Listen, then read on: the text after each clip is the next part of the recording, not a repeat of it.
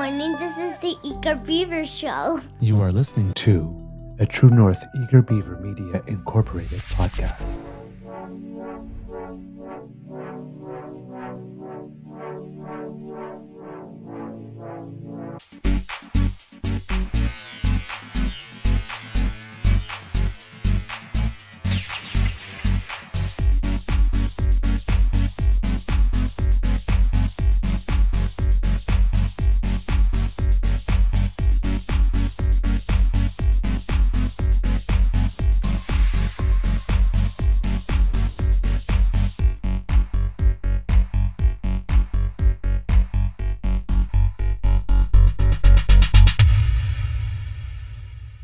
True North Eager Beaver podcasts are proudly brought to you by our founding sponsors The Misfit Mysteries from Corvid Moon Publishing, your source for science fiction, fantasy, and cozy mysteries featuring a broad diversity of characters. CanadianTarot.com, your uniquely Canadian online eclectic tarot community. And The Peppermaster, hot pepper sauces made from farm fresh ingredients to thrill your taste buds and expand your mind.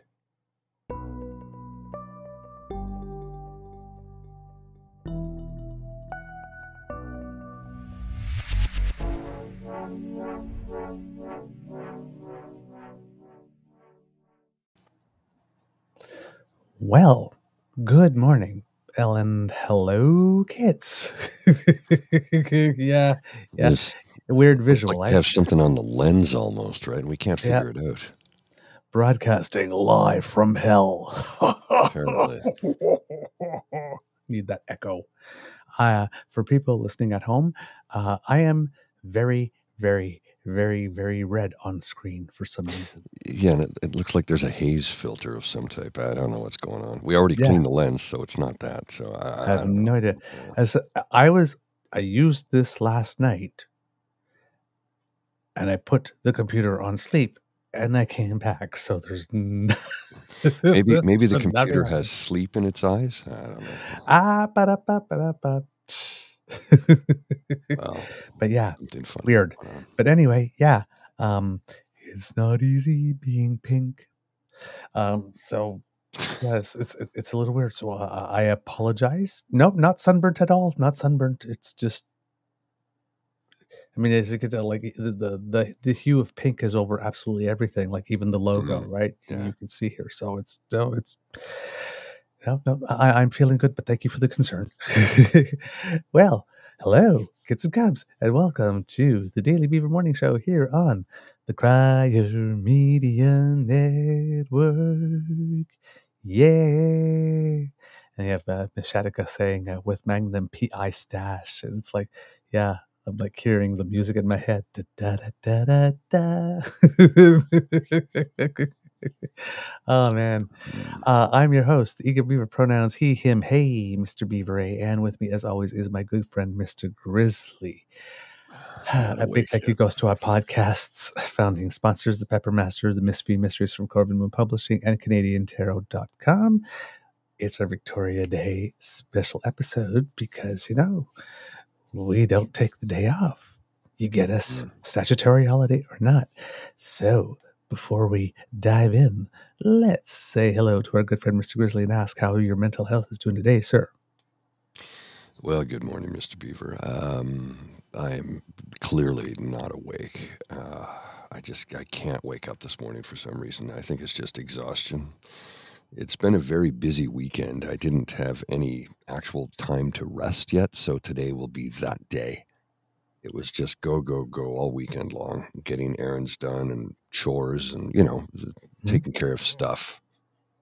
Uh, did some work on the studio, did some work at Bridget's house. Um, yeah, just busy, busy, busy. So I'm going to take a nap immediately after this. Same here. In, in, in response to your question of how's my mental health, I have no idea. I'm, I'm too tired. Uh, well, I am too because for some bleepity bleep bleep bleep bleep bleep bleep bleeping reason, yesterday was my first day off, like fully off since sometime mid December. Oh, yeah. No rehearsals, no Nothing. shows, no meetings, no board meetings, no medical appointment, like just nothing. Like this.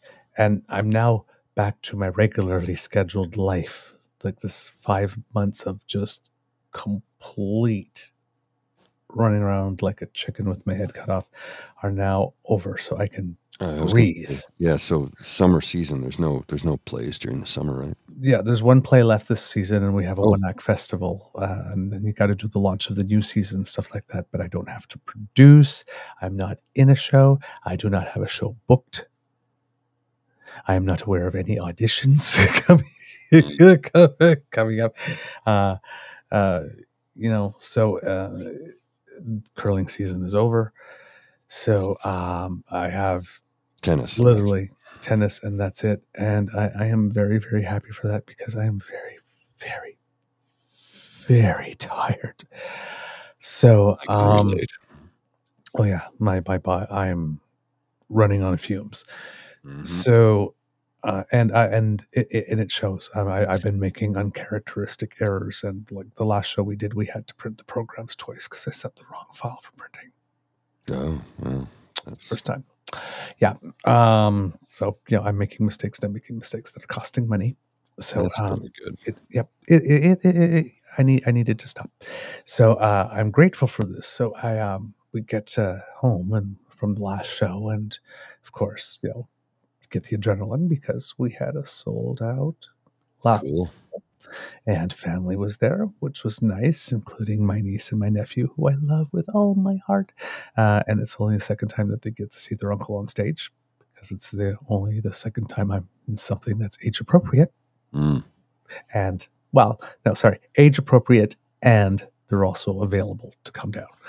Um, so, but uh, you know, all the thing again, it's like, yeah, why is Uncle Douglas not here? You know, for this party and this thing. Well, he's in rehearsals. so yeah, okay, yeah, well, that's why. And well, you know, and he's he's kind of okay at it. So you know, um, so we had that show, and family was there, and it was great. But of course, you have the adrenaline high. Mhm. So uh, that went until about two in the morning, and then I, the crash came, and then it's like nothing to do the next morning, not even a show. Guess what time this one wakes up all on their own? Five. About five forty-five. Yeah, of course. You Gotta be kidding me! and last night also was a short- last night. I also for some reason, um, I was on high. It was the same thing, and I think last night was even later. It was around like three o'clock or something like that. We got to bed, which is like very very abnormal because often I'm in bed by ten thirty. Um, so yeah, there will be a nap. There will be a nap. Uh, Mr. Grizzly, hmm do you uh, notice something? Um, what am I noticing? I- You're pink. No, nothing. You don't What? No, don't no, notice mas- anything. no No. mascara. No. Mr. Beaver's a year older. Oh, was it your birthday this weekend? Yesterday. Oh shit. Sorry, man. Sorry. I'm, hey, it was a long weekend. You were supposed to take it off. well, I didn't though. I was working the whole time. I didn't know. Ah, so I'm sorry, man. I forgot your birthday. And now you're out of focus. Now What the of- hell is going on? I am red and fuzzy.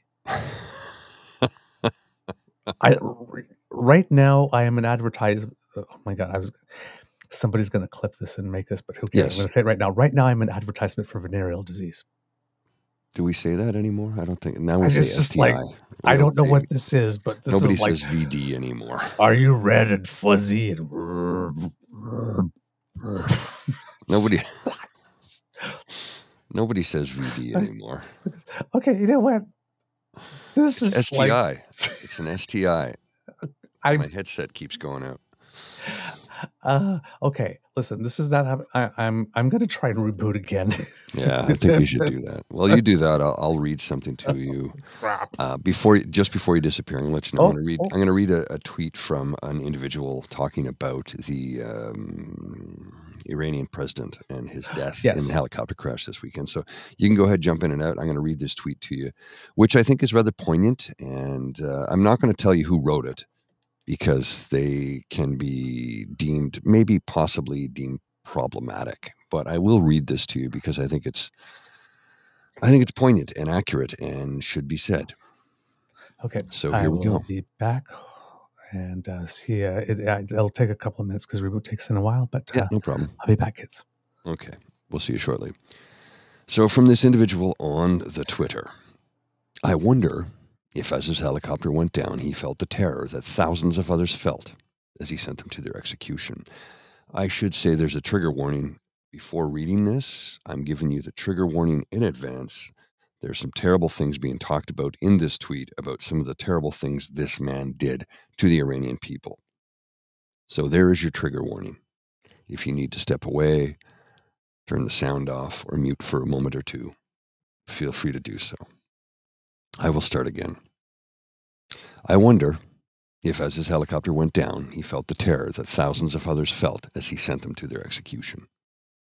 I wonder if, while he was hurtling towards the ground, he felt the helplessness that thousands of his victims felt when the rope was tied around their necks. I wonder if he experienced just one iota of the pain and suffering that he caused thousands of victims and their families. I hope that he be remembered as an evil, cruel man, or better yet, forgotten altogether.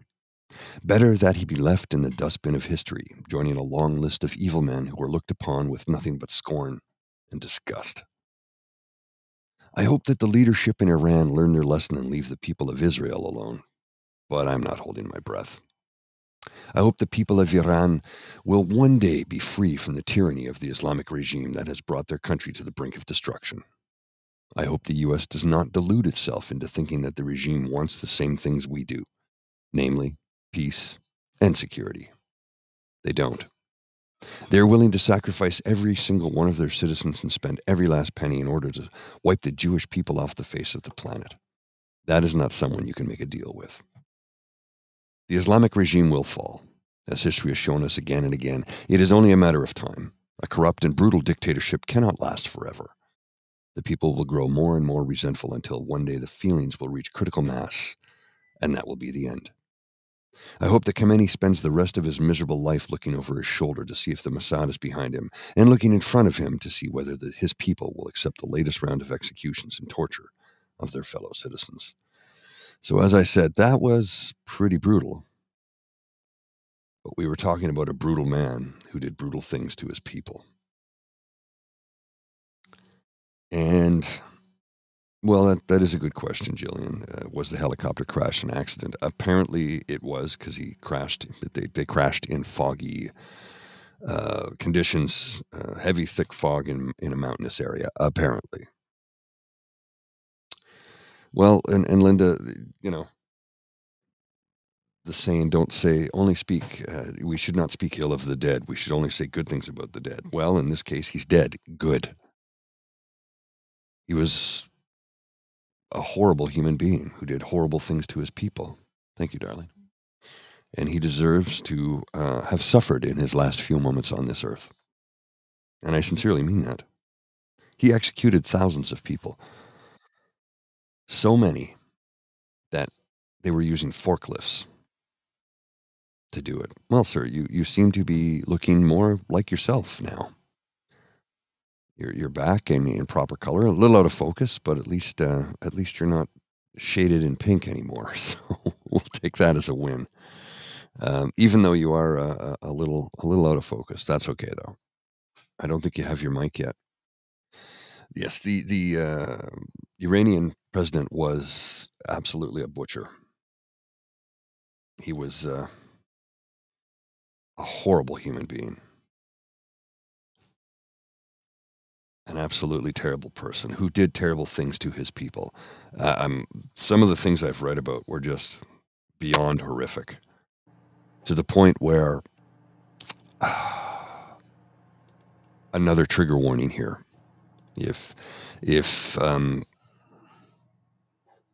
sexual violence or violence towards women is, is is problematic, you you should probably click off for the next thirty seconds while I tell you what one of the things they did was. Because uh, in Islam, according to whatever warped version they have, one uh, edict that they would follow was that you cannot execute virgins. So They would rape the women before they executed them. So, you know, how he met his final moments, I hope he suffered horribly. I hope he burned alive and suffered through it. And I sincerely mean that because fuck that guy. And that's pretty much all I got to say. Yeah. In terms of a little bit of uh, the facts here, uh, Iranian state television confirmed that President Ibrahim Raisi died in a helicopter crash into a mountainous area where conditions were foggy. Uh, the term that has been used, I believe, was adverse weather. Iran's interior minister uh, uh, on television uh, described it as a rough landing uh, when reporting back to uh, the citizens. the president was returning from an event in Iran's East Azerbaijan province where he was opening up a dam. The country's foreign minister, Hossein Amir Abdollahian, was also killed in the crash. No other bodies were found at the site, it is reported um, as uh, Mr. Grizzly, you know, uh, read that. Um, to give a little bit of a history of the man, he was president since 2021, and he was seen as a potential candidate to take over as the supreme leader, which is the highest leadership role in the nation. He was a hardline protege of the current uh, supreme leader of Iran, Ali Khamenei. Uh, there will be an election in Iran in the next two months so um, for to, to replace uh, the, this position. Uh, in Iran, the president has very little say on foreign policy.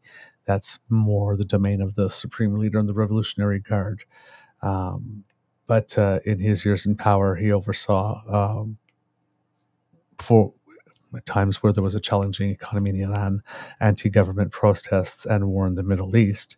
But in the 1980s, he was a member of the judiciary as uh, Mr. Grizzly says, who sent thousands of political prisoners to their deaths. Um, until the new elections, the vice president will be the acting president. Uh, so they'll have a, a, little bit of a continuity. Uh, the government has declared five days of national mourning, and uh, officials are vowing that there will be a continuity and that it will be maintained. But international analysts are seeing the potential for a, a power struggle to emerge at this point. So things may get um, uh, a little tumultuous, to say the least. That's about the the best word I can uh, come up with at the moment. Uh, but yeah, that's uh, huge news it's huge news because uh, yeah, Iran is uh, when we look at uh, that region of the world, uh, we say that there are three poles: Saudi Arabia being one, Israel being the other, and Iran is the third. So that's um, that uh, shapes a lot of things, and there are a lot of people uh, that are cheering, that are saying good, and and yes, absolutely. Um, but this is Iran Mm-hmm. So um, when the devil goes down, um, I shudder at what comes next to fill the void. Because this was the devil we knew. What's the next one going to be like? Yeah. So, you know, there's not, yeah, exactly. That's it. So I, I don't, you know, people, you know, you can be happy that this person, I mean, listen, the world's a better place without this person in it. What? What replaces? So, uh, yeah, it's going to be, uh, there might be some sparks in that area of the world. Yes. Uh, here at home, um, there's been some improvement in the wildfire situations. Uh, yesterday morning, not yesterday morning, sorry, Saturday morning, uh, around 10 a.m., uh, CBC was reporting that favorable weather conditions, uh, when we had been reporting this on the show, were uh, were uh, being forecast entering the long weekend, and that they were providing hope for residents across the country. Cooler temperatures and rain in the forecast did indeed help fire crews in Fort McMurray Uh, region wildfire activity was low throughout the day on Friday, and the danger level had been downgraded to low. But officials still at that point on Friday were not letting their guard down. It, Um, it did rain though in, in Fort Mac, did it not? Oh, oh, yes, it did. It did. It did. Um, so uh, the regional fire chief at that time on uh, Saturday, Saturday around Saturday morning had said we can all look out the window and see the rain that's coming down on us, and that Mother Nature is gracious with that. We'll take every bit of it, and with that comes the possibility of different return dates. But we are going to make sure that it's safe to do so. So the residents that had left out of precaution as of a Saturday morning uh, were able to return home. Those under evacuation order at that time. Um, uh, they thought would be able to return on Tuesday. In northwest Manitoba, the nearly 700 residents that had been forced out by wildfire near Cranberry Portage uh, found out that they would be likely to be able to return home over the course of the weekend. Manitoba's wildfire service said that the fire was under control and that the weather had been cooperative, so that was as of Saturday morning. In British Columbia's northeast, rainy weather and cold temperatures helped the crews battle the Fort Nelson fire, but officials at that time said it was too early to say when thousands of displaced residents could return home. The Parker Lake fire at that time was burning at 12,000 hectares, approximately two kilometers west of Fort Nelson. Um, as of uh, yesterday, things improved even more. Uh, the Northern Rockies Regional Municipality Mayor Rob Fraser uh, provided an assessment of how long it would take for evacuees to be allowed to return home up uh, in the, the Fort Nelson area. So, uh, and he says, uh, "quote I'm really hoping we'll be able to knock it down from 10 to 14 days to 7 to 10 days." So, based on current conditions, that's the assessment. Rain has helped combat the fires, and the crews still do not have the upper hand of the fire in that area but the evacuees from Fort McMurray and the Cranberry Portage area of Manitoba are now able to return home. Yay! Evacuation, order, evacuation orders and alerts for both areas are being rescinded today, we have found out. Well, that's good. Yes, Good news. yes, at least, uh, yeah, there was some uh, some rain and whatnot, because I mean, last year, Mother Nature was not very cooperative with that. Mm. So, but again, this is, uh, it's, it's May. Mm-hmm. It's May. Well, I mean, it, they already started to fight them. Well, I mean, it, they never stopped burning to begin with. They Yes. burned all through the winter, but they started to fight them in April. Yeah. So, yikes. I know it's really something. Ah, It's going to be another scorcher here in the nation's capital today, by the way. I think we're the high is 30 and 33 with humidex or 35, something like that. So it's going to be very, very warm here. 37 is body temp. Remember that. So it's warm out. It's very warm out. It is very warm. Um, the prime minister is going to announce, uh, or has announced, I should say, a by-election, a federal by-election for the uh, electoral district of Toronto St. Paul's. That is the district that was held by um, longtime MP and cabinet minister Dr. Carolyn Bennett, who had uh, retired, and I believe now is the ambassador to Denmark Oh, if I'm not mistaken, uh, which was uh, announced uh, relatively shortly after she had stepped uh, she had stepped aside. Uh, so, yes. Um, so yeah, June 24th will be the federal by-election there. That one will be interesting, given what uh, polling is indicating at the moment, because um, that would be an opportunity. Let's just put it this way: if the Liberals that she's owned that seat for a long time. She's she's owned that seat since that electoral district was created. The boundaries of it, the current one. Uh, so, and it's reputed to be some of the most safe liberal seats that are out there. So, if that one would happen to switch hands during a by-election, um, expect many trees to sacrifice their lives hmm for the right wing press in Canada to be writing how much, you know. I mean, I think we would have to agree too, though, it, it, that might be the death knell if that Mm. was the case. yes. We might, uh, might uh, not so much a long walk in the snow, but uh, a nice surf in Tofino. Uh, Yes. It's like if that uh, if that one went another way, but we are living in very weird and interesting times. So Mm. um, right now, I'm not assuming anything. Well, weird and interesting times. Let's let's let's take a, a close look at, at, at what's happening right now within the Con party, a progressive conservative. He was elected a progressive conservative um, uh, member of provincial parla- uh, provincial legislature, I should say, in, in Alberta, and then moved on to federal politics. Ron, uh, I hope I say his surname correctly, Liepert, L I E P E R T. Hmm. I'm going to put this on the screen for you right now. It's uh, conservative MP Ron Liepert speaks out on his decision to leave politics. He says, People trying to get clips for social media are running the show in question period now. I just don't think that's healthy for democracy. I don't think it's healthy for communicating with Canadians. So here's a man who is, he'll be 75 in October, actually. Isn't like, that, he does not look his age. I thought he was like early 60s, maybe late Mm. 50s. Uh, way to go, Ron. Uh, I don't know what your secret is. Oil of Olay? Damn, dude. But um, yeah, he, he's he's done. He's fed up because he can't handle. uh, uh, Look, we've we've heard other members of caucus from the Conservative Party say this is not how things are done and have left. And here's a guy who has been dedicated to his province and his home of Calgary. He was born in Alberta or Saskatchewan, sorry, but he's he's been living in Calgary for decades, and he's a member of uh, Parliament for um, Calgary. Is it Nose Hill? I think.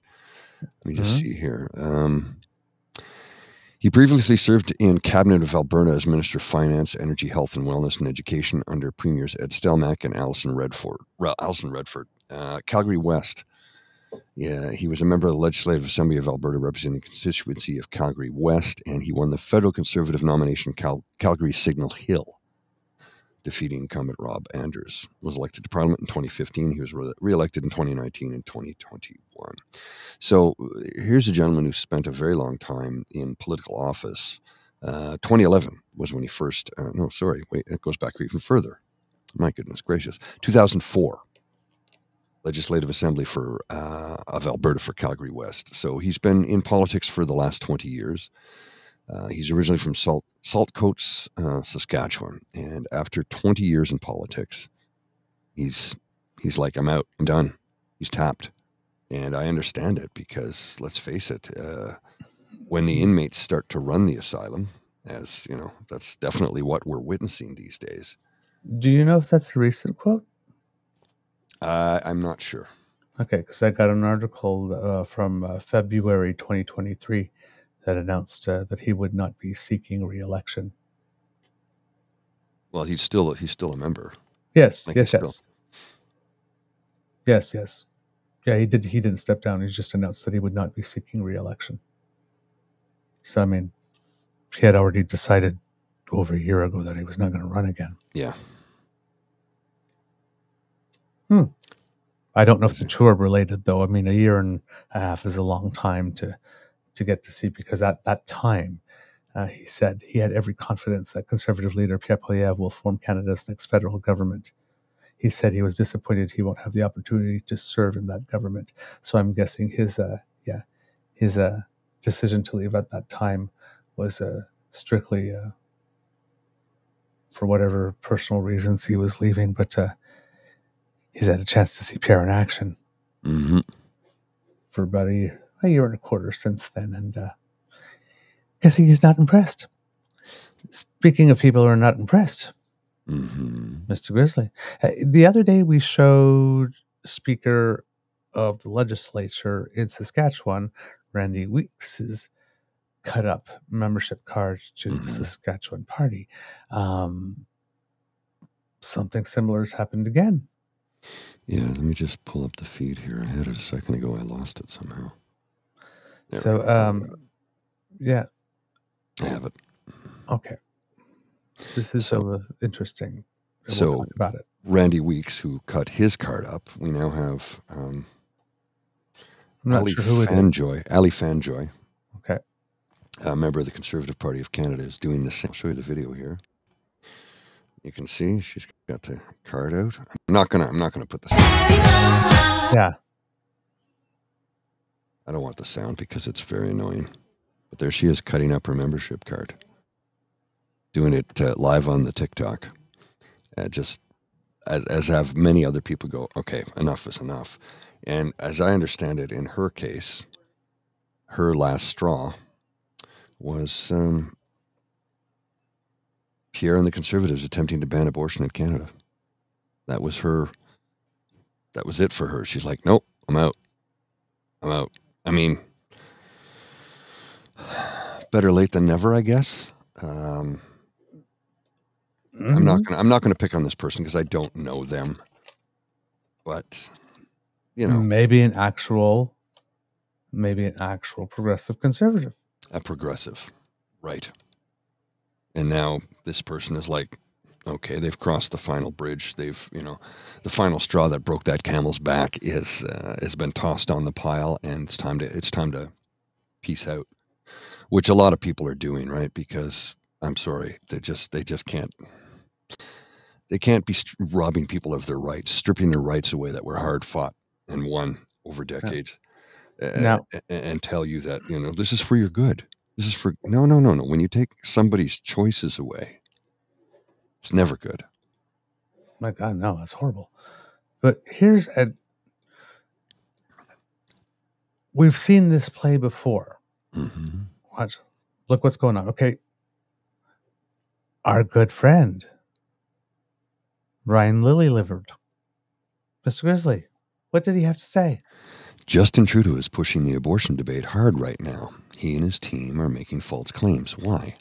They are desperate. Yeah. Whoops. Sorry. That was supposed to happen. Um, yeah.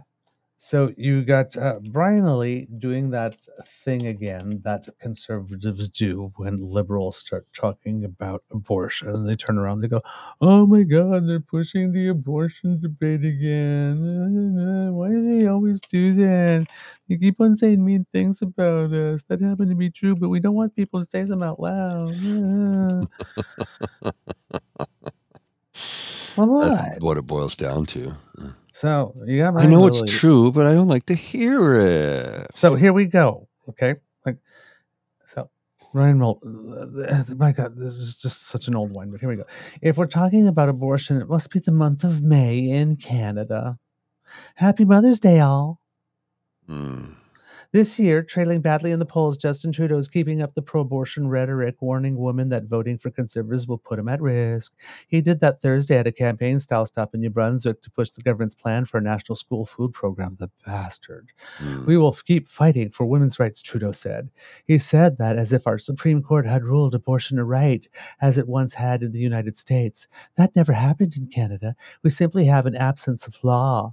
But Trudeau loves to import American political issue into Canada while decrying American style politics.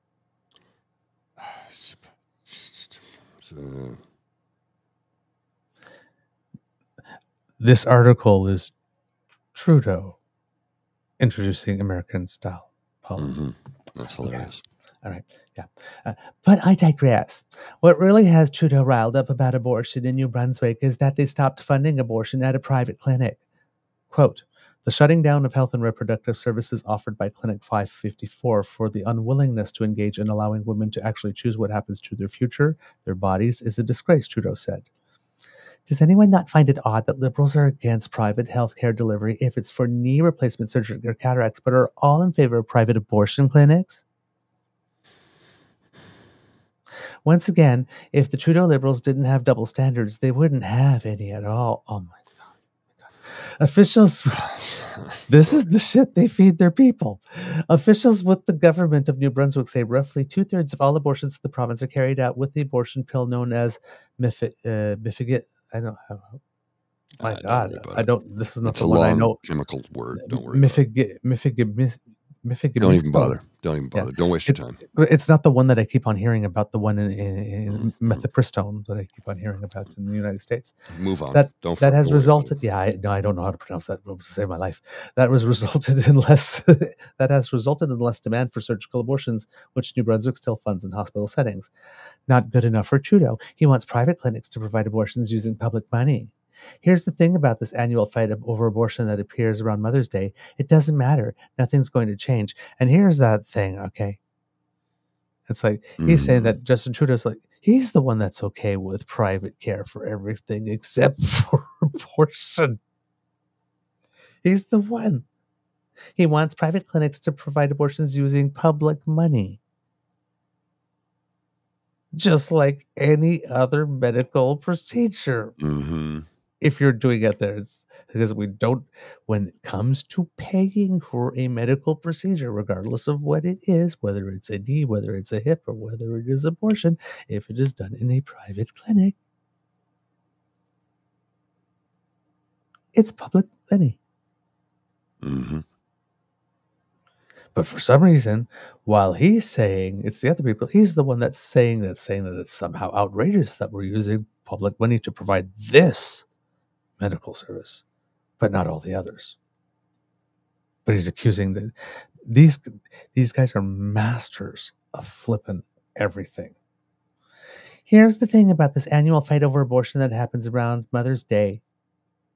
It doesn't matter. Nothing's going to change. Well, of course, it happens around Mother's Day because the campaign, the the national prayer breakfast, and then the whole rally on the hill are scheduled for the. They picked that date.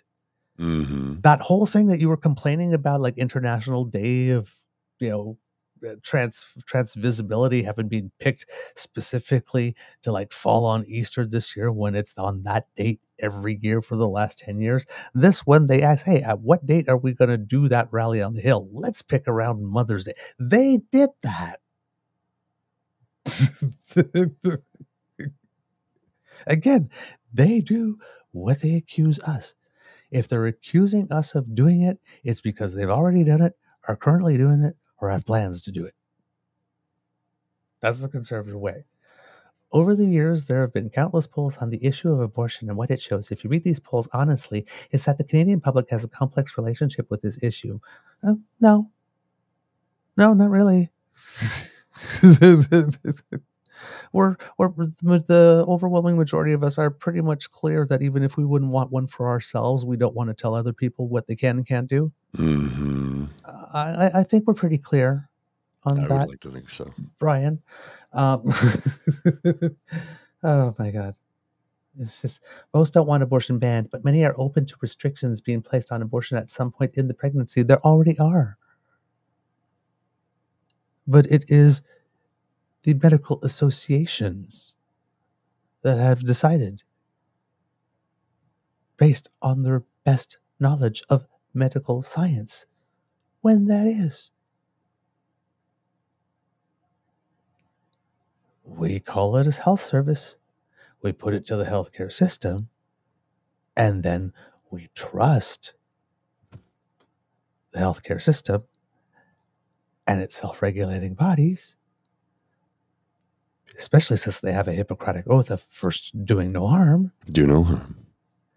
that they will not deliver the service in a manner that is absolutely outrageous.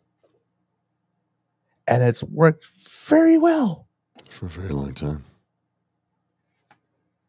It's like, you have an issue and you keep on trying to make it our issue. And we're not interested in that issue. it's like, just, uh. so yeah.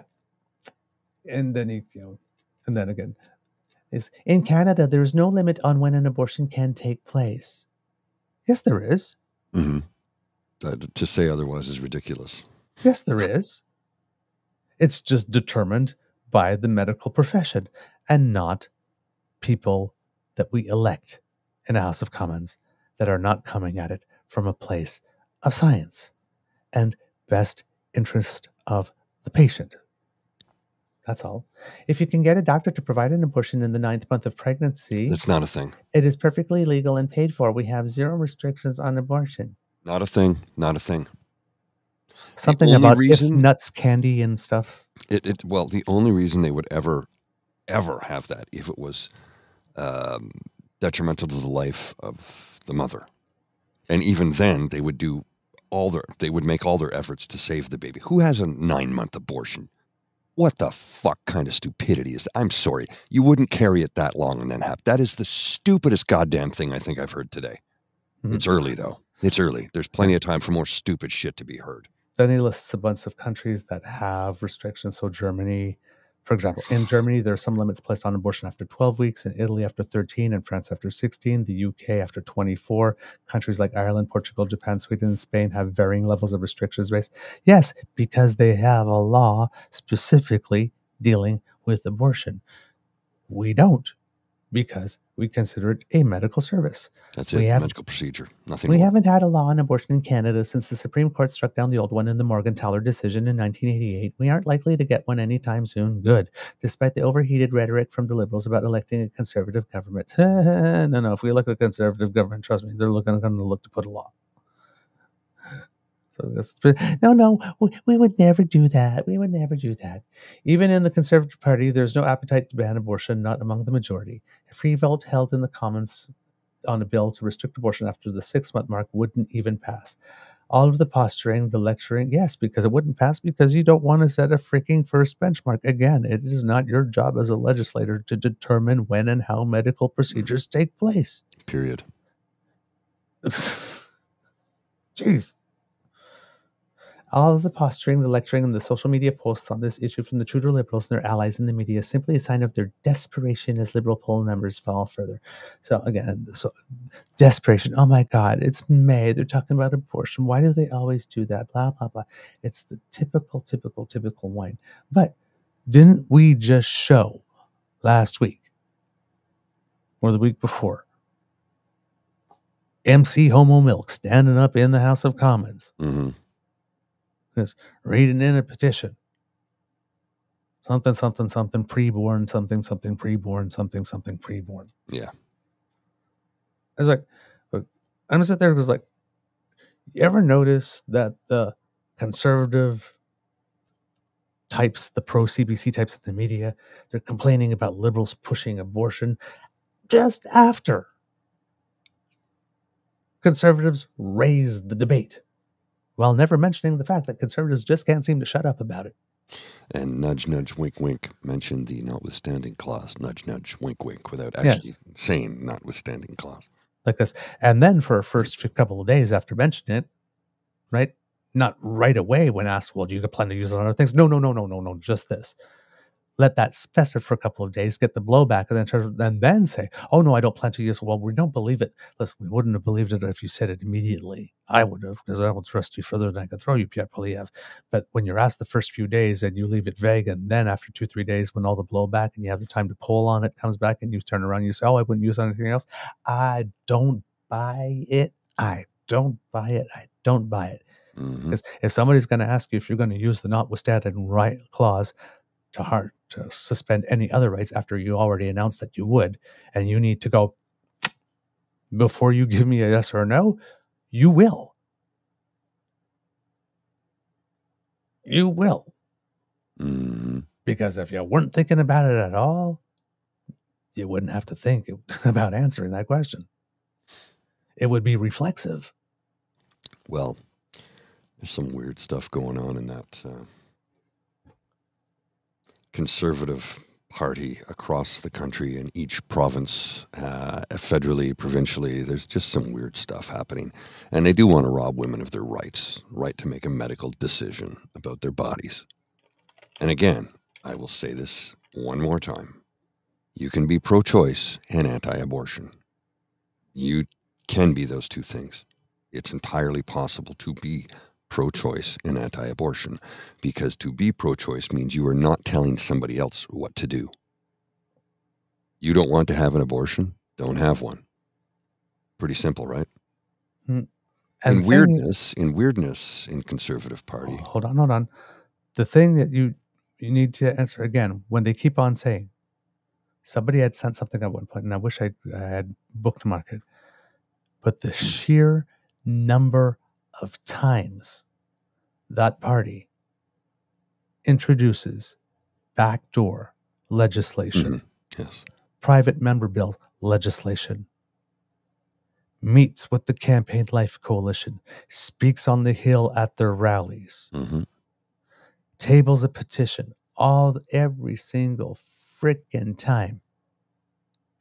They're the ones who can't shut up about it. And when the liberals turn around and say, you know what? They're talking about it again. Oh, because they initiate the debate Each and every time. every bleep, bleep time. Sorry, Mr. Grizzly, I, I jumped in. That's okay. I've got something. I, I don't know if you saw this or not, sir. So I'm going to put it on the screen because it's I don't I don't know. I don't. Yes. I don't know what is going on in Alberta. Youth Spring Dance and Saturday, June 8th from 7 p.m. to 11 p.m. Ages 14 to 25. I'm sorry, what? What? S- Um, pardon me? What? Youth Spring Dance and Social ages 14 to 25. hmm. Now, Do you not find that uncomfortable and strange and odd and ew? Because I sure as hell do. What is going on in people do. Alberta? I personally, but I come from a very different background. hmm I grew up in the gay community, Right. right? So when I came out, we had a group that was called Mhm. Gay Youth that was organized by the local. Every Wednesday, we would go and we'd have discussion group. We'd have people come in. They'd talk to us about stuff, you know, and like this, and we'd meet and we'd make friends like this, you know. And it was a, a safe environment. It was at a community, our, our community center, and you know, it was organized. It was part of the programming. And every Friday night, there would be a bar night. hmm It would be a dry bar night. Oh, And it's where everyone in that group, right, from whatever to, for I think I think it was for us sixteen to twenty five. This would go there, and it was a place where we could dance, all of us, because we don't think of people 24, 25 as youth. no. But according to the United States, the United Nations, youth is from about the time you start high school until you finish your first cycle of university. Really? About that, yes, Aren't you United Nations- 18 legally? you're an adult, but youth, Mm, young adult, is still part of youth, according to like the international definition. okay, fine. But now, why would you? But so, but that's the context. It does matter. But that, Mhm. that's just overall context. When people go, it's like 15 are not youth. International and international law, people are considered right. youth until 25. So, in that, people that are 22, 23, 24, 25 can also be going to a bar yes. and getting hit on by 40 year olds. Mhm. And they don't want that. So, we were there all together hmm with proper supervision, hmm no alcohol, hmm Yes. And we had 14 year olds dancing with 25 year olds in the same room. But there were very few 14 year olds, none at all that I can remember, dancing with 25 year olds. Like slow dancing, grinding, face. Yes. Might be all dancing in a circle. hmm Might be dancing next to someone while you're dancing with your friends. Maybe it's square dancing. Right. So, and so, and then we're talking about this is like in the lo- small, small town Alberta. Hmm So I'm guessing if you're going to rent a hall to do that type of thing, and there's probably not a lot of population. Well, that is one of, rather the, than- one of the explanations I heard was hold a 14 to 18, whatnot. But the point is, is that on its face, depending on who the organizers are, Mhm, how much adult supervision there is, mhm. all kind of stuff, it is quite, quite, quite possible to safely operate a dance Mhm. where 14 year olds and 25 year olds dance in the same room and nothing bad happens. Has anybody been to a family wedding, for example? Mhm. Right? So, yes, at first it seems, ooh. Yes. And, and yes, if we were talking about, hey, 14 year olds to 25 year olds, here, I'll go in this room and hey, we're going to have a dance and we're, we're going to create an event where 14 year olds are going to mingle with 25 year olds in the same room like this and uh, have no adults there whatsoever while we leave minors. Yeah, then I would be really, really worried. But I would assume that there would be adult supervision. Well, Please tell me there would, somebody should ask the organizers would there be adult supervision? you know, when I was a teenager, which was about 100 years ago, uh, I used to go to, a, uh, on, on the military bases I grew up on, we always had a teen town. And it was 14 to 18. Yep. You could not get in if you were over 18 Oh, unless you were a, uh, a, a chaperone. Because we always had adults in the room, right? There was, you know, a, a Mhm. minimum of three at any one given time Yeah. uh, to supervise and make sure everything went well and we didn't burn the place down or, you know, get too outlandish. Mhm. But 14 to 18, And and because- kids can be not okay with each other. that's true. It's not like it's not like you can have a room of 14 to 18 year olds. Sorry, it was 13 to 18. Okay. But and that nothing bad would happen among them. Mhm. Hello, World Junior Hockey Well, 19 year olds weren't allowed in because you were of drinking age, of drinking age. right? Exactly. But it's just majority. So that uh, they, they would not allow them in because, you know, there's just, you know, eh. no, no, absolutely, absolutely. So optically, not, not, this is a good horrible. look. not a good look. it's a horrible thing. It's like if you are organizing stuff like this, particularly if you're a political party, Not a good look. probably should know better. It's like, you know what?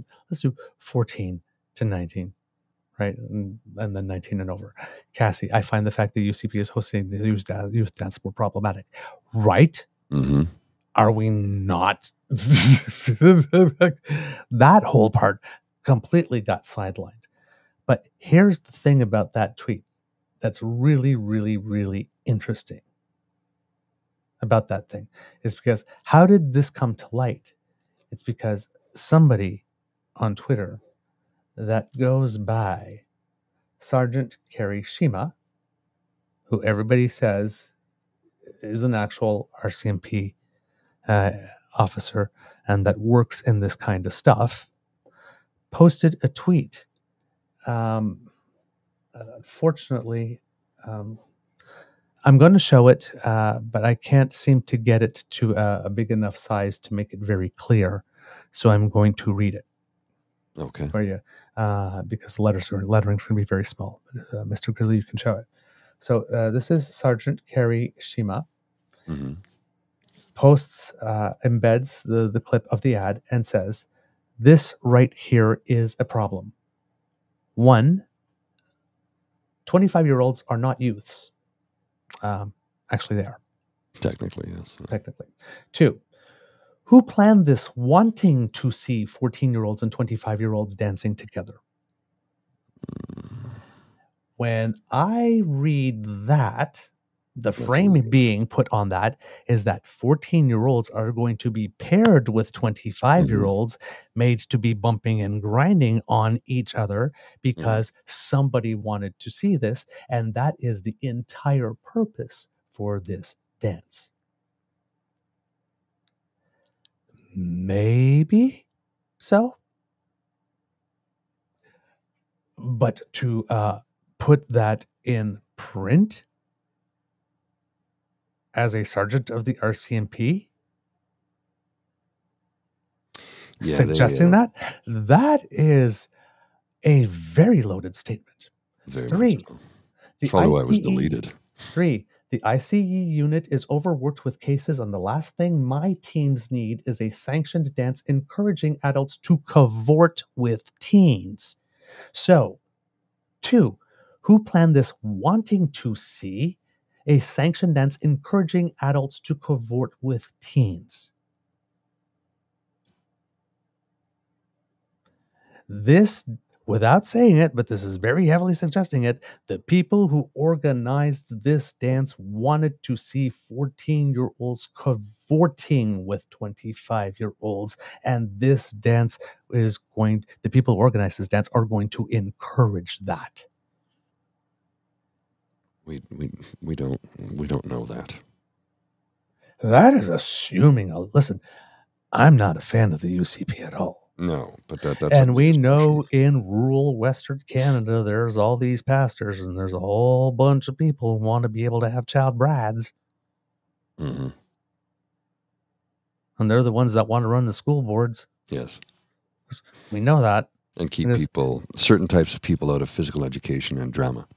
We know that all of this is bathing in really weird contexts. hmm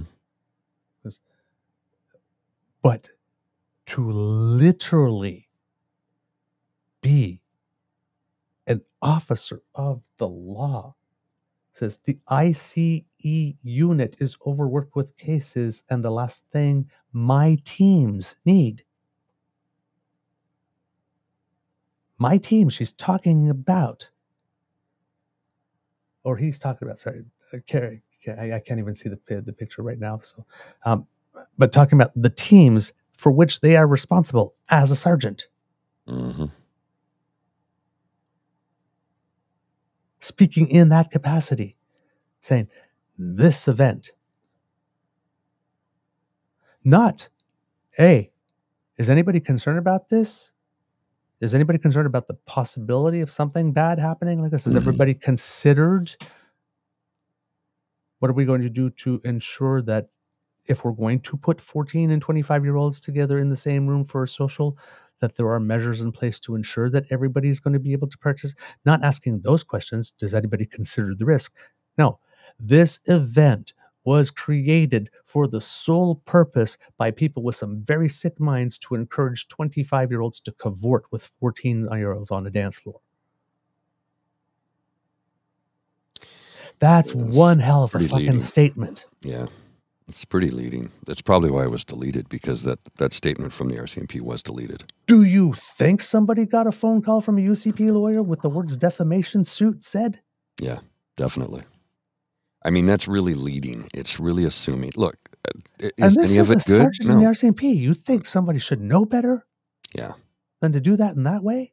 it was really poorly done. Poorly, poorly chosen choice of words and verbiage that led to, uh, well, the deletion of the tweet to begin with, but most likely was no. a call from a UCP lawyer.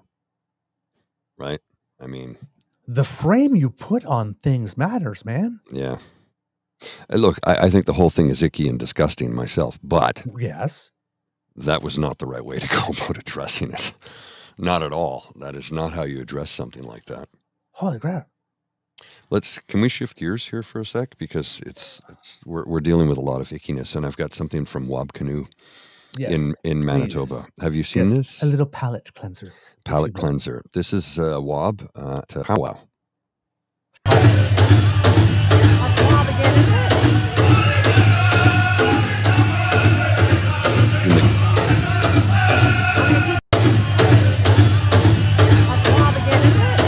And that was the entrance to the um, the Powwow. powwow at uh, where. Hang on a sec, I've got some info here. If I can just pull it up. Um, Green Regalia joining in the Grand Powwow entrance at the Manito Ahbee Gathering in Winnipeg this weekend. Manito Ahbee, sorry, I had to sound that out as I read it.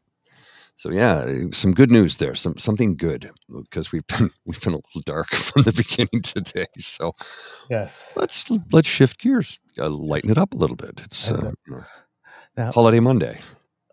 unfortunately, I have to darken it up again. Oh, no. Oh, no. well, hold on. Oh, Let me see if there's something. Since we're doing light, that's yeah. Since we're doing light, we'll continue doing light before I darken it up again. Um, the Department of Canadian Heritage has announced the acts that will Mhm. be performing in the nation's capital for Canada Day this year. Now, uh, the show will be called Canada Day Feel the Rhythm, and uh, the evening show will feature uh, none other than It's a Throwdown. Showdown. Hell no, I'm going to go down. Yeah, I I was hoping you would complete it. I was hoping you would complete it. Thank you. Thank you for taking the baton. Maestro Fresh Wes Y'all. Thank you very much. I like that very much. I, that makes me happy.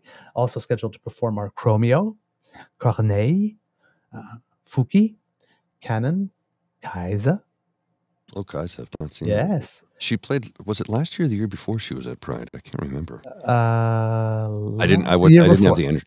I didn't have the energy to stay up to see her, and it Me was only like I was exhausted. I think she started at six p.m. But I'd been out all day. Yep. In the parade, right, A- and, just all eight hours in the sun.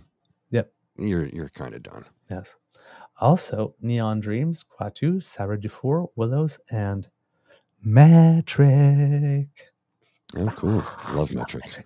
BTO. They So they've bad. kind of been under the radar for a little bit. They haven't put out any music. A little bit. while. Yeah, a little bit. So, yeah, very excited about that. Uh, so, uh, and the show uh, this year uh, will not be on the hill because of the The construction. Reynolds, yeah. Uh, so it be at Le Breton Flats. Mhm. uh, this year, and it will be hosted by Isabelle Racicot. So there you go. Very, very exciting. I, I, I'm. My favorite day of the year is my birthday, and my second favorite day of the year is Canada Day. Mm. So when I get Canada Day news, I get very, very, very, very happy. oh, Carol, is it your birthday today? Happy birthday to you.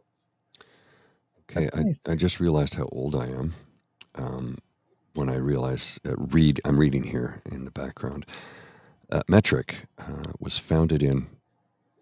How, how long do you think Metric has been around? The band. Take a wild guess. early 2000s? 1998. Oh my goodness. Emily Haines, the lead singer, um, is 50.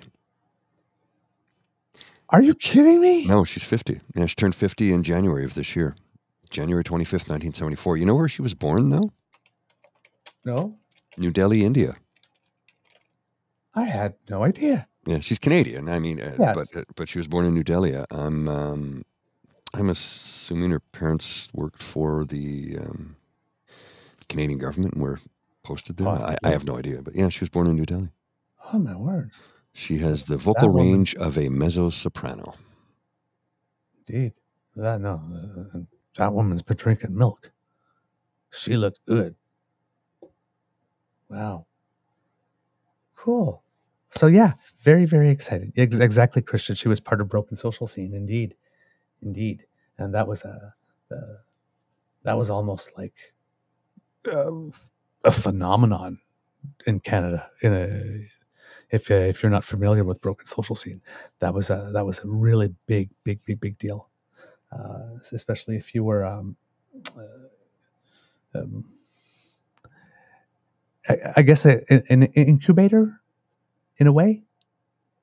Sorry, my, my, my earpiece is going out. Say Sorry. that again, sir. Broken social scene. Broken Social Scene. Yeah, she is a, a a member of Broken Social Scene, but Broken Social Scene is also a band that, you know, people come and go. It's it's not. It doesn't have Yeah. a permanent uh, permanent roster. It's sort of like an incubator. Like you come in, you do something, and then people have like come in through that, and then go off and lead Exactly. things, and then some people come back, and it's a it's a it's a really yeah, it, it was a really cool thing. It was a kind of free flowing hmm thing. Good idea. I think Bran Van three thousand was something like that too, wasn't it? Uh, to a lesser degree. To a lesser degree. Yeah.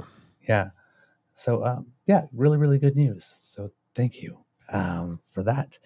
All right, a little dark, not as dark as the previous stuff, but a little dark. Um, it's about. There's been a case uh, in uh, Hamilton, where a child under five hmm uh, has uh, died of measles, according to the Public Health Agency. Um, it's the first measles death identified via provincial surveillance since 1989, according to Public Health Ontario. Um, this is a profoundly tragic situation where a young child has left us too soon with their whole life ahead of them, said Dr. Brendan Lew, Hamilton's Associate Medical Officer of Health, in a statement Friday. To respect and protect the privacy of the child and their loved ones, we will not be speaking to further details of this individual case. But it's the first such death in Ontario since 1989 when tracking began, according to Public Health. In an update published Thursday, Public Health Ontario said the child was not vaccinated against the highly infectious respiratory virus. It did not indicate when the child died or their specific age. So we just know a child under five. Um, A measles related death is a rare and tragic event. Our thoughts are with the family during this difficult time. Uh, cases are on the rise. Hamilton Public Health has confirmed six cases of the measles so far this year. None of the individuals were vaccinated. Earlier this month, Public Health warned people about the possibility of measles exposure at a grocery store, apartment building, and McMaster Children's Hospital after four members of the same household contracted the virus. Hamilton Health Sciences, which runs the Children's Hospital, said in a statement it could not confirm whether or not the child who died was in their care, citing privacy reasons. Measles has also been on the rise in both Ontario and elsewhere in Canada as cases increase globally, particularly in Europe, which has seen tens of thousands of infections over the last year. There have been 22 cases in the province so far this year, Public Health Ontario says, a level of infections already matching a recent high set in 2014, when there was the same number over the entire calendar year. All of the cases were in people born after 1970, including 13 children. In 12 of those instances, the children were not immunized, while the vaccination status of one was unknown. Five infections, all in unvaccinated children under five years old, required hospitalization, the report says. In an email statement, a spokesperson for Ontario's Ministry of Health offered condolences to the family of the deceased child. Quote, Our heart goes out to the family that has tragically lost their child. Our thoughts are with them as they navigate this challenging time. We remind all Ontarians to stay up to date with their vaccinations to ensure themselves and their loved ones are protected against infectious disease. Speaking in Winnipeg on Friday, Prime Minister Trudeau called the child's death, quote, a tragedy that nobody wants to see. I can't imagine what that family is going through right now, but I do know as a parent that all of us want the absolute best for our kids, he said. I recommend that everyone listens to their doctors, their health professionals on how to keep their kids safe. Most of the total measles cases this year, 15 of 22, were linked to travel. Quote, in Ontario, measles has been rare, owing to the successful elimination of measles in Canada and high immunization coverage. As a result, measles cases are predominantly associated with travel, the report says. Due to, due to, an increase in measles activity globally, Ontario has begun to see more cases of measles. measles. Dr. Isaac Bogoch, an infectious disease consultant at Toronto General Hospital, says Canadians planning to travel should ensure they are protected against the virus given the rise in infections abroad.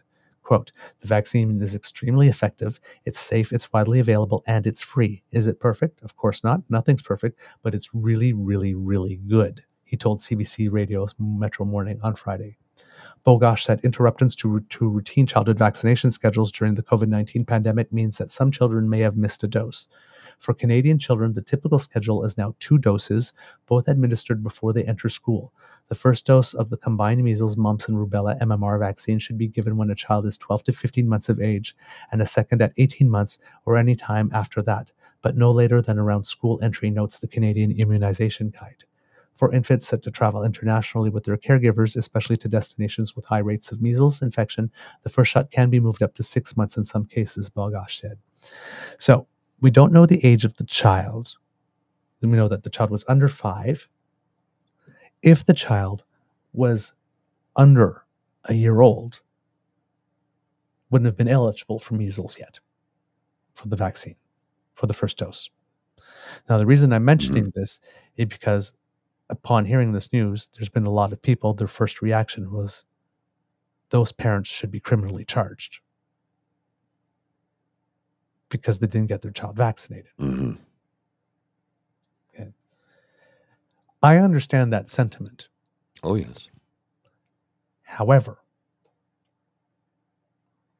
got to ask the question mm-hmm. if parents lose a child due to a medical decision that they took on their child's behalf,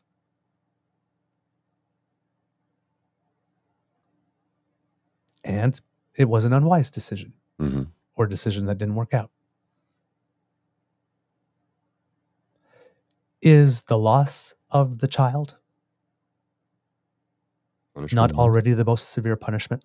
Mm-hmm. What benefit to society is there from charging and incarcerating a parent that would lose their child in yeah, that it's a, manner? It's a good question, and I don't have an answer to it. Now, I don't. I honestly don't. Uh, you know, there's other things to be discussed here. Was uh, doctors have said because of the pandemic, a lot of children's vaccinations have kind of fallen off because not necessarily due to uh, parents choosing not to vaccinate, in so much as the schedule was sidelined, and now they're trying to get caught up, and there's a huge backlog. Yes. Was that the case? We don't know. We don't know. So it, you, you The- can't go and hang this person right away. Yeah. We don't know the We don't know. story. We don't know. But let's say, even in a situation, let's say that these are anti vax parents, Mhm. and I'm not getting my child vaccinated against measles. That's just, they're not doing that. want to go back to what the prime minister said. The child's death is a tragedy that nobody wants to see. I can't imagine what that family is going through right now, but I do know as a parent that all of us, I do know as a parent that all of us want the absolute best for our kids. I recommend that everyone listens to their doctors. Yes, I'm going to preface this that yes, we live in a world where there are parents that are not good to their kids. hmm Okay. But let's speak about the overwhelming majority of us. Do we assume that parents, do we enter this debate assuming that parents that do not have their kids vaccinated for whatever reasons hmm that make sense to them love their children any less than other parents? Yeah. And do we assume that if they lost their child as a result of an unwise decision that they made, that they would be any less devastated by the loss of their child Mhm. than any other parent? Because that's what concerns me when I see this debate to rush with the pitchforks. Now, I'm not defending anti vaxxers. No, no, no, no, no, no, no. I'm saying layering on additional punishment. You were negligent with your child, so now society is going to make you pay. Problem is, when it comes to vaccines, for example, people are thinking like, well, they didn't provide the necessities of life. Well, if you're not feeding your child, for Mhm. example, it's like eating is not optional. you, you you can't bypass that one. You gotta you gotta do it. You gotta do it. not accepting a recommended medical treatment is optional hmm under the law. Yes. And parents, as guardians, are given a lot of leeway. Well, and and you have to remember too. In many cases, in many instances, a school board will dictate that if your child is not vaccinated, they cannot come to our school Right. because they put other children at risk. No but then you have the option to homeschool, right? yeah, there's no crime, but it's like you. These are our rules, and if you don't want to obey them, well, then you you can't play in this playground. Exactly. What it boils down to. You can do you want you can do what you want in your home, but you can't bring that here. Yes. Right um, so I have a like I said that that- when I see that, it's just like, mm, am I assuming we're assuming a lot here, right?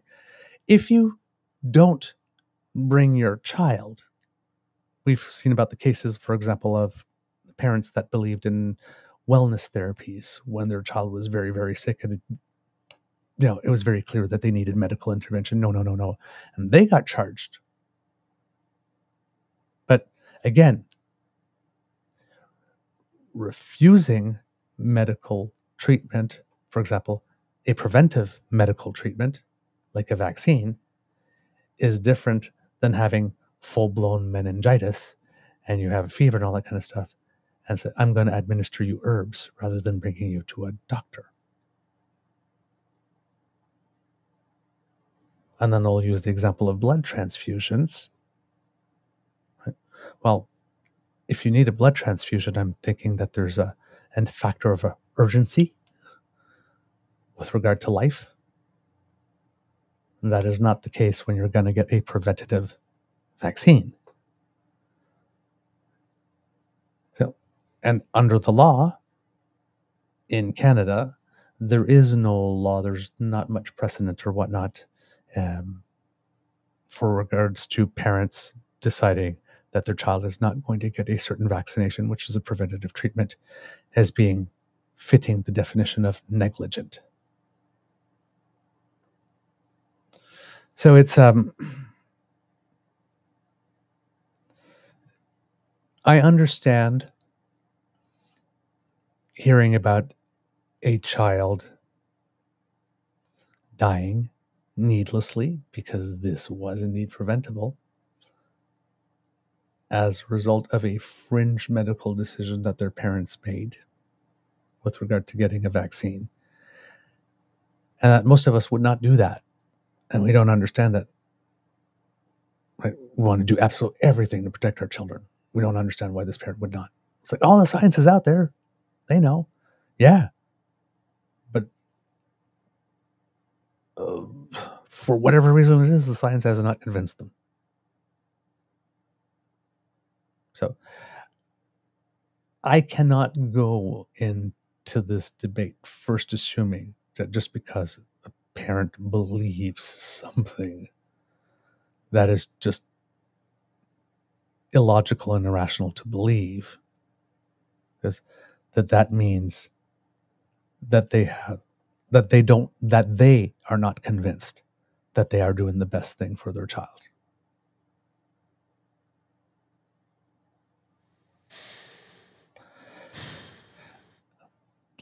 Right? They're not they're not denying their child the vaccine because they hate their child. It's some twisted wisted right? Hmm but it's it's a very bad decision it's a misguided decision but is it a criminal one I would say no. is it yeah, that's what i'm saying so we have to It's not criminal. It's it would be nice decision. that we lived in a world where here's the science here's the data oh well i'm convinced and then we all make the log- logical and rational decision we are presented with the best possible information like this and we make the best possible decision based on but we don't do that we don't do that we Mhm. know what we should be eating I don't want to like put a- those chemicals in my body. Everything is chemicals, you dumb. It's like the number of Doritos I put into my body over the weekend in the green room during the play was severely unhealthy. I was I was telling the guys yesterday. We, we went and had some porch pints, and I was talking to them about how you know, I, I actually knew people who said to me, "Oh, I'm not getting the vaccine. I don't know what's in it." I'm like, "Don't give me that crap." yes. I've watched you buy cocaine from a busboy in a strip joint and then do rails off the back of the toilet tank in the toilet of that same strip joint. Don't tell me that, you It's lying, about- foolish Let's idiot. remember, it's not about you not knowing what you're putting in your body. Yeah. Let's let, let's not pretend that's what it's about. Like that. the people who said that to me, I just, I want to smack you in the face. I, I really do. But here's the thing: is like we're not we're humans. We are inconsistent. yeah, at best. We are inconsistent. Um, you know, there are things in certain areas that we know is bad, but here we we calculate the risk and we deem it acceptable. We make a stupid decision, but we would consider it for so. Well, would you do this? Well, no, that's like five levels higher of escalation. I wouldn't do that like this. But this one, I thought it was, you know, I thought I could handle it. I think uh, I thought I could do it. Or like we're we are not consistent No. at all. Plus, and we are not perfectly rational. How can, if say those parents were anti-vaxxers, and then there's us of us that do believe in vaccination, how can we both look at the same data and come to such wildly different conclusions?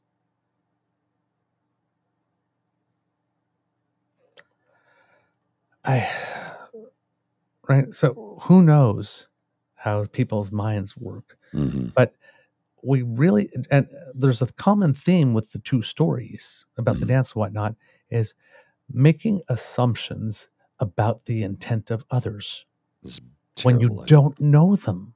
Yeah.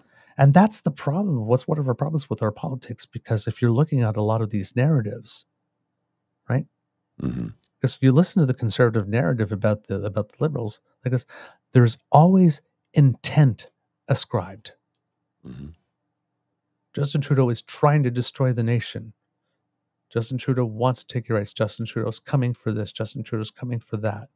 Justin Trudeau hates gun owners. Justin Trudeau hates the people Well, that didn't that that showed up in Ottawa to protest. Just, but it's always in, he wants to keep you down. Justin Trudeau wants to censor you. Justin Trudeau wants to force you to take, but there's always ascribing the worst of human intent.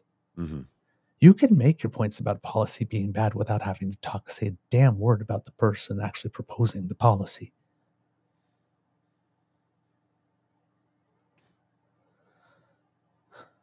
But they're not making that choice.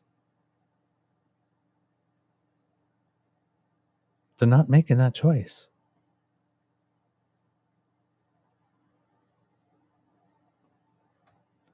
Assuming, st- make stating as a fact what other people's intent is as you frame a political issue for your partisan advantage. It's, it's like, unless somebody specifically says what their intent is, you don't know. Look at this. There we go. More. This again. This is. Poilievre on the weekend uh, tweeting out at a, at a gun rally on the 18th, which was Saturday. Trudeau and the NDP will ban all hunting rifles if they are reelected.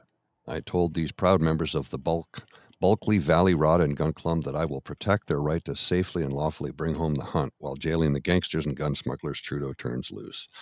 Signed to support our common sense firearms plan. Okay, that he starts off with an outright lie. An outright lie. He starts off with one. And then what did David Parker tweet on the same day? Hmm. There are 68,000 active members of the Canadian military. There are 30,092 active members of the RCMP. That is the entire force that the Canadian government can bring against its citizens. If there ever is a people's revolution, the Canadian government doesn't stand a chance. There are 4 million gun owners in Canada. And that's when you play the clip of uh, that guy doing the stand up comedy routine that you mentioned all the time. Neal Brennan? This doesn't really sound fair because I've got this um drone. Yes. Yeah, I, I have the clip, but we can't show it because we No. a copyright violation. But he goes on to say uh, the the NRA uh, gun owners are going to have a rally against the the U.S. military. It's a game we have once a year, and uh, okay, we have fifty thousand uh, heavily armed uh, rifle assault rifle sporting NRA uh, members standing in the circle, and they're ready to start the games. And uh, we have the two members of the military here, two drone operators, and one drone operator says, um, "Are we really going to do this? Because you know." Um, okay, here we go. Uh, and my drone is up, and uh, I'm just going to let go of that missile. And oh, oh, and they're all dead. That's the end of it. Pretty much. That was the Neal Brennan uh, commentary on what was it? He says uh, Neal Brennan has a plan to test the Second Amendment, and that's what it was. It's from his comedy special. Uh, Blocks is the comedy special. If you if you want to check it out, it's really funny. It's on Netflix, and he's his take on it is hilarious. Um, Have, uh, but this this is um, let me post this tweet from Nate uh, from the breakdown. Got Jared Wesley said, sure, this is dangerous, undemocratic, threatening language, but let's calm down. It's not like he has access to camping equipment or pallets. Shit. Sorry. The same fear they put into your hearts, Mister. We've got all the guns. Was that scared of a mask and some hand sanitizer? Hardcore. oh, Nate, that was that was that was beautiful. That was a that was a thing of beauty, sir. That was Uh, a thing of beauty. Now, getting back to Pierre, the one that you put out, um, Bruce Anderson, hmm man I respect very much, uh, had something to say about uh, Pierre's claim that Trudeau and the NDP will ban all hunting rifles if they are reelected. The casual, obvious lie, which is what this is, is always revealing. It happens like if someone feels entitled to lie because their supporters love the lie, or they believe that lying can't keep them from winning. If media overlook it, the behavior just becomes more common. Mm-hmm. And Pierre wasn't done with the lies. He had another doozy. for you. And about this one, Max Fawcett said, This is an astonishingly dishonest and inflammatory thing for a potential prime minister to say. It should be disqualifying, and that it isn't says a lot about a lot of things. We need solutions to this crisis, not weapons grade scapegoating, and there isn't a shred of evidence supporting any link between federal policies and toxic drug deaths. And what did Captain Applesauce have to say about toxic drug deaths? Uh, Trudeau's wacko drug policies have killed 42,000 Canadians. After pushing to decriminalize hard drug use in public places, he is backtracking in the hopes he can impose it after the election when voters won't, can't stop him. Fire Trudeau, ban the drugs, treat addiction, bring our loved ones home drug free. He tweeted that on Friday. That's uh, 42,000 Canadians is the number of Canadians that have died. Yes. The policies have not been in place. And they're also not Trudeau's policies, they're provincial policies. Yeah. It's by the province of British Columbia. All they did was ask that they were allowed to do this, and they were granted the ability to do so. But the policy is a provincial government initiative, not federal. The, the amount of lies this man spews and continues to get away with unanswered is it's astonishing. It's astonishing. But his policies have caused 42,000 deaths. Yeah, yeah, that's not even true. Not true. 42,000 people have died, but it's not his policies. There comes a time when you will say absolutely anything about it. The vilification. Mm-hmm. It's just, it's just The just, objective is to paint the man as evil. And as I keep on asking on the show, what is the solution for evil? You eradicate it. Mhm. Someone is going to get hurt. yes. And this little shit gibbon doesn't give a damn. And he'll come out and say violence is not the answer while he's been stoking the fires of it for decades.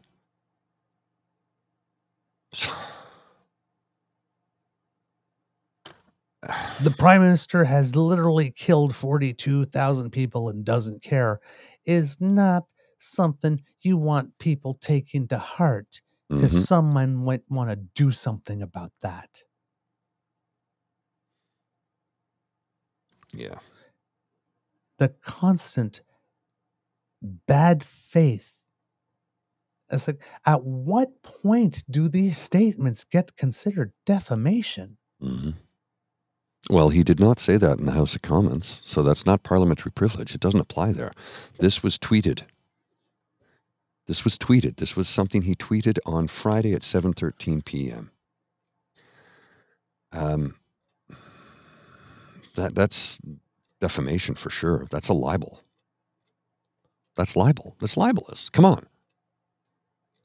And and the responses to that tweet are are like, wow. Shredding him. Oh, just oh my god. So this guy not everything in the world can be the fault of one man. No.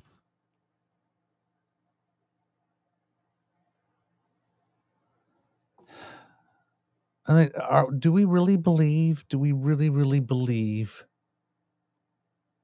that Justin Trudeau wants to destroy a man who has been in power eight full years? Mhm.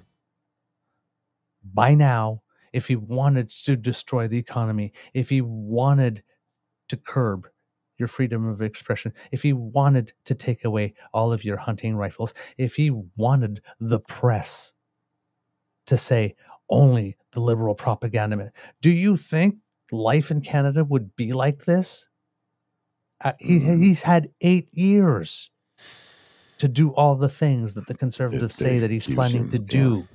To take all your rights away and make you his servant. He hasn't even tried. It's after eight years. If he hasn't done it, I don't think it's going to be happening. He had a majority. He ran on changing the way we freaking count the votes. Yeah. he could have just set himself up for life right there. Well, uh, somebody I, I follow online, Guy Felicia, Felicella, Guy Felicella, sorry, had this to say. BC's response to the toxic drug crisis has been in the news a lot lately. The Conservative Party of Canada seems especially distressed about it and has been using a lot of snappy slogans about how common sense conservatives will fix the crisis by canceling health services that are currently saving lives. So, it was truly great to see the federal all party standing committee on health come to Vancouver this week to gather facts they spoke to public health, visited Road to Recovery at St. Paul's, and learned about overdose prevention and supportive housing and community courts in the DTES. I don't know what the DTES downtown east side, I guess, of Vancouver. Yes.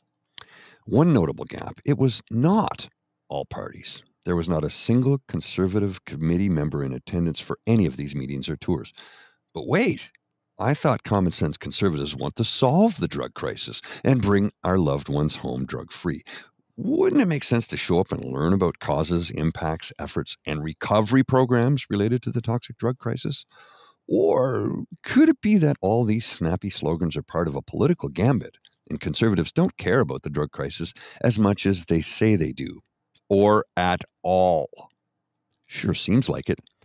Especially since it turns out Poilievre was in Vancouver yesterday for a photo op presser where he announced that if elected, he'll prevent illegal drug use in hospitals. An announcement that was entirely pointless since illegal drug use is no longer permitted in BC hospitals as of May 7th, when changes to the decriminalization pilot were approved by Health Canada. He should have joined the HESA tour. It would have made his manufactured concern a lot more believable. Like, this rhetoric is dangerous. It is. It oh. God. Just fuck. And then the other thing PP did, which is uh, really interesting, is that uh, he called because the carbon tax wasn't enough. Mm-hmm. He called on the federal government to provide a gas tax reprieve for the summer. Mm. Didn't a whole bunch of provincial governments just raise their provincial gas tax? Yes, they did. But the federal government is the one he's asking to, not his seven conservative premiers across the country, the federal government. So he wants to axe the carbon tax and he wants to axe the federal gas tax for the summer. Um, uh, but part of the federal gas tax goes to help fund things for municipalities where we apparently we want housing and we need to put in infrastructure like sewers and whatnot for housing, but Mhm. we're going to cut the source of funding over the summer for it.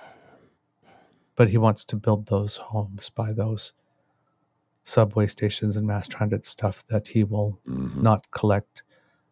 He wants a reprieve from the federal government collecting money to fund.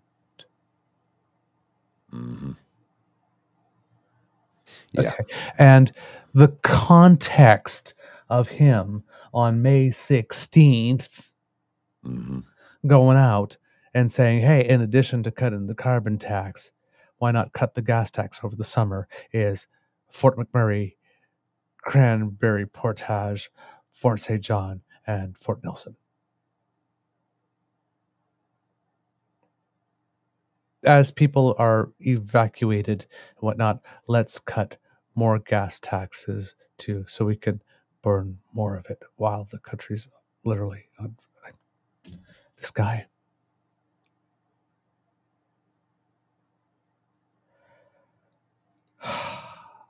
Say it with me, Mr. Grizzly. Exasperated. All the damn All time. the damn time. Yeah. I just. Yeah. I'm just. Could you not be advocating policies that encourage people to burn more GHGs uh, as the country is burning? Please. At least. Yeah. Let's gotta cut tap out. even more gas. I'm just uh, I gotta tap out. I'm done. I'm I'm done. I'm yeah. Just no, no. I can't. I can't anymore. I can't. Can't. I just I'm. Yeah. No. no. I can't. I, I just can't. I can't even. I'm incapable. I'm I'm I'm incapable of even right now. put a fiddle in his hands. Jesus Christ. almighty. Just I, I yeah. uh, Jillian, not caring can be a trauma response or just sociopathic. mhm, Yeah, mhm. yeah. And of course, well, it's fire season, so we got a whole bunch of people talking about arson. Yeah. Accused the Liberal government of setting fires in Yes. northern Alberta. Yeah. Now, now, according to wildfire services, the over the, the majority of the fires have been set as a result or started as a result of human activity. That does not mean arson. No, no, no. Human activity you started a campfire and you didn't put it out right. You did. doesn't mean you said it on purpose that burn the forest down intentionally. I mean, it's like you're right about this, though, Saucy. They want to exasperate us into complacency. You are correct. I think that is their end goal, so that we just don't give a shit and we don't come out to vote, like what haven't happened in the province of Ontario to give Doug Ford a landslide majority with 13 percent of the vote. 13. 13% gave him a majority because only 43% of the population bothered to show up. Mm. Indeed. Uh, Kit Cassie says that it's time for another Wab break. Oh, yes, I agree. Here it is. Ah.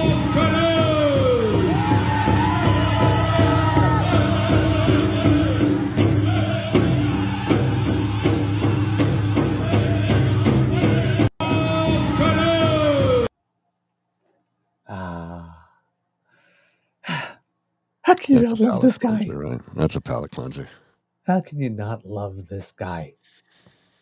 Seriously. Love this guy. Uh, okay. Um, we have some thing that makes me happy because you know that I like when people um, explain things well. hmm And the prime minister has a knack of being able to do that um, because, well, Oh, yes, this clip. Yeah, I had Yeah. this from last week, and I, we didn't have a chance to air it. Yeah, we didn't got- have it yet. you know. now before we do that, I want you to show um, this tweet uh, from this is a um, this guy. I don't know if this guy's a real person. I would assume Hmm. he is, maybe because he doesn't have a blue check mark. Um, Mhm. but it's this account is a constant stream of really just oddly Mm-hmm. stated stuff like this one for example I- oh, did you post it? Yeah. Is it, is it it's there? up there I don't see it. Hang on. Okay. Uh, yeah, I got it now. Okay. Would you read it mr grizzly Malcolm Twizzle at MDT546. Trudeau has never explained to me how increasing the capital gains tax on the cottages of the parents and grandparents of Gen X and millennials, millennials is going to contribute to generational fairness. Anyone? okay malcolm darling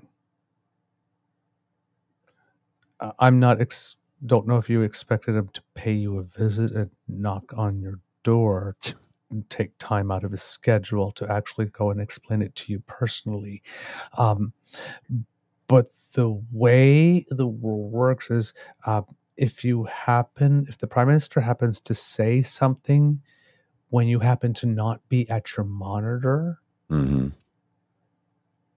doesn't mean the prime minister didn't say it. It's like, if you happen to miss class that day, don't complain that the teacher didn't cover the course material. Yeah. Mr. Grizzly, if you please. This is a tax policy change that impacts less than 1% of people, but look at how much attention it's getting. Some people don't think that the richest few should pay more in taxes. Well, I don't agree with that. At a time when the richest are only getting richer, I think it's fair to ask those people to pay a little more. You may have heard of the capital gains tax, or what some people call the capital gains tax advantage. Now, if you don't know what that is, you probably don't get that advantage. It's basically where you've made enough money and amassed enough wealth in assets that you end up getting a tax break. Here's what I mean everybody pays taxes on 100% of their salary. If a nurse is making $70,000 a year, or an investment banker has a salary of $800,000 a year, when it comes to paying income taxes, they're both paying taxes on all of that income. Now, that nurse may be living a good life, but she's probably not earning enough to be buying and selling assets like properties. But that investment banker, who's making $800,000 a year, probably is. He's putting some of his money in assets, like buying and selling properties or shares in companies. This becomes like a second and sometimes bigger source of income for him. When that investment banker sells those assets, he only pays taxes on 50% of the profits he makes. Now, he's not paying 50% in taxes. It means that if he makes a million dollars from selling properties or stocks, taxes only apply to half a million dollars worth of it. So when all the math is done, that nurse is paying about 29% in taxes on her full $70,000 salary. But the investment banker, he's only paying taxes on half of the money he makes from selling assets. That's the capital gains tax advantage. And it's not really fair. So we're going to change that. Starting June 25th, if someone makes up to $250,000 in capital gains, they're still going to pay taxes on only half of that. But for anything they make over $250,000, they're going to pay a little more. They'll pay taxes on two thirds of that. So the very richest people are going to profit a little less off their assets, only 0.13% of Canadians to be exact. These are people who have an average income of $1.4 million a year and are mostly in their 60s or older. So, why am I telling you this if the vast majority of you won't pay a dollar more? Well, for two reasons. First, the conversation always seems to be dominated by the richest people in a society. This is a tax policy change that impacts less than 1% of people, but look at how much attention it's getting. And second, you should care about your tax system. This change to the capital gains tax will result in almost $20 billion in new revenue, revenue that will go towards the biggest investment in housing in Canadian history revenue that will create a national school food program, that will make prescription contraception and insulin available for anyone who needs it, that'll build a national dental care program. See, a fair system creates a fair country. And that's what I want a fair Canada for every generation. Yeah. Well, that, Class dismissed. yeah, spells it all out. Spells it all out. Now, interesting thing you didn't uh, you might have noticed uh, when they were showing what the taxation rate for that nurse that was making seventy thousand dollars and what the the banker Mhm. would make based on those capital gains. Um, the taxation rate for the investment banker was still lower Yes. overall by about 3% or something, but was still lower. Um, you will notice also the zero when he talks about the 0.3%, because he's speaking specifically here on the passive income. Because, yes, we do know that there are situations where somebody may get a one time asset disposal that may mm-hmm. fall under there and get a ding a little much. But when he was talking about when you showed the, showed that graph, he was talking about a second source of income. He's talking about passive income. That is, eh, it- this is my personal opinion, but in my personal opinion, I would like to see more taxes on passive income and less taxes on employment income. hmm Stuff you actually had to work for. Now people goes, Oh, you don't think you had to work? The investments make themselves. Yeah, you have to make a good decision about where you invest, all that kind of stuff. Yes, you have to monitor your account and stuff like that. Um, but for the most part, you said it and you forget it. Yes. You're not going in nine to five No. right? Like it's passive income. The people that make enough money to have enough in passive income, specifically, not a one time disposal of an asset, whatnot, but passive income, that's the 0.13%. They get that money every year, hmm every year. He explained it. He explained it. He made a video. He explained it all to us. So, yes, Malcolm, he did explain it to you. You must have been at the bathroom. Missed it. But that's another one of these moves. hmm I didn't see it when it happened, so he never did it.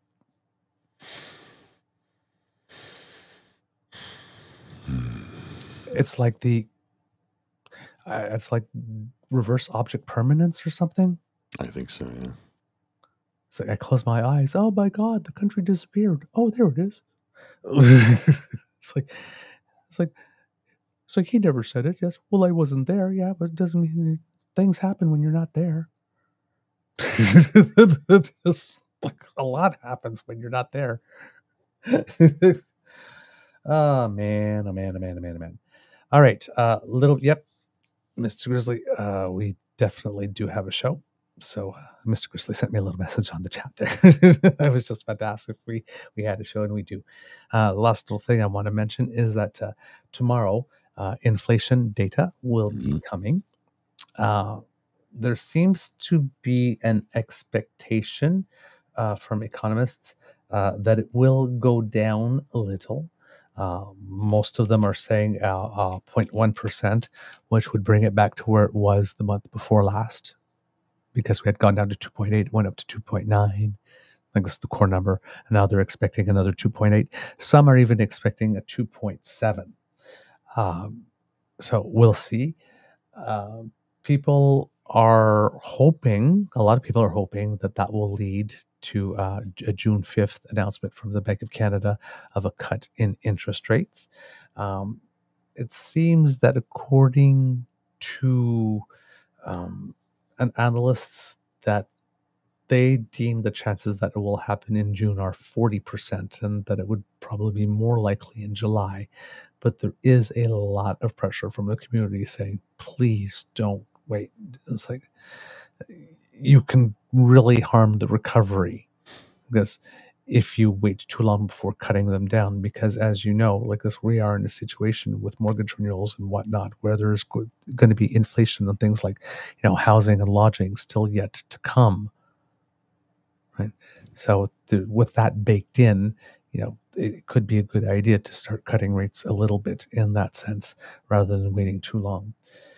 Um, so we'll see what happens with that. It is also expected that uh, because you have the core number and then you have the number that with the, the volatile elements stripped out, Mhm. uh, it's also expected because that one went down last month, uh, whereas the core inflation uh, went up because gas had gone up about four four point five percent in that month. Um, so, but it seems that the the the expectation is that the core number minus the volatile elements will also uh, be lower. And uh, if that comes with a, a drop in the gas price, which I suspect might be there, because I, mean, I don't drive, but I've heard a lot of people comment about how gas prices have come down over the past few weeks, um, more than the carbon tax increase, by the way. Um, so after the this the the spike after the the switch over to summer driving gas, so um, we'll see what it is. Uh, I am personally hoping for a June cut because. Yeah. Personal vested interest. I Uh, understand. personal vested interest. My it's like listen, the, the cost of my mortgage has gone up the inflation on my mortgage payment has been over 50% since the, since the things went up. So uh, a nice little cut uh, would, would would do me good.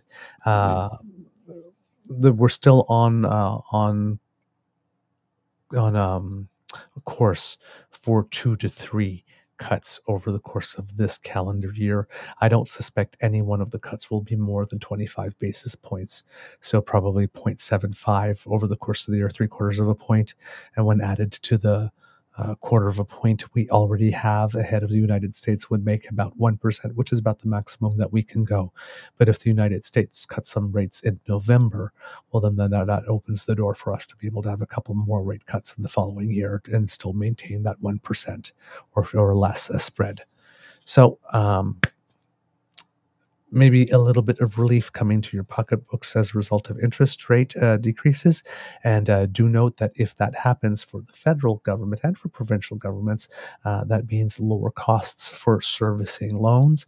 So if the interest rates do go down, don't be surprised uh, come uh, when they start uh, the fall economic statement and later on next budget when they say, oh my God, we did so much better than we had expected. Mm-hmm because, well, that will be cost savings on interest primarily, not necessarily fantastic economic management. So just be prepared for it because you will get the, you will get the line. All right, kits and cubs. That's the end of this episode of the Daily Beaver Morning Show. We hope that you love listening to us because we love making this for you. Remember, sharing is caring and word of mouth is priceless. So please tell your peeps and poops all about us. If you do not want to miss an episode, you do not have to. Thanks to the Ray Girl, she has sponsored our pod page. You go to podpage.com slash true north eager beaver, lowercase letters with a hyphen between each one of those words. And if you click subscribe there, when we have something fresh off the bandwidth, it comes directly to you. And that way you don't have to miss an episode. If you would like to support us in other ways, hey, we've got merch. Yes, we some, do. Yes bring a little extra beaver into your life by going to the True North Eager Beaver merch store on Etsy, which I believe is etsy.com slash ca slash shop slash TNEB merch store, if I remember it correctly off the yes. top of my brain. So that is correct. Go there. Yes. That is correct. Still got it. even though I'm getting older. The brain's the old brain's working. So mm. there, uh, if you want to get some merch, thank you very much. Uh, I, I, looked at uh, the the shop the other day, and it said that three people have indeed uh, bought merch so far from us. So thank you, those who did. Thank you so much. We really appreciate it. Um, if you would like to make sure that you help us become profitable, we need to get to a thousand subscribers on our YouTube channel. So if you would like to help us with that, you need to make like Kit Elaine, who says, Have a beyond awesome day, everyone. And remember to smash the button before you leave. And that's on our YouTube page, True North Eager Beaver Media. If you go there, uh, I think the, the QR code that just appeared under my my chin is for the pod page, right? Yes. Yes. Okay, just didn't want people to be confused because I'm talking about the YouTube site there when that appeared. Mm.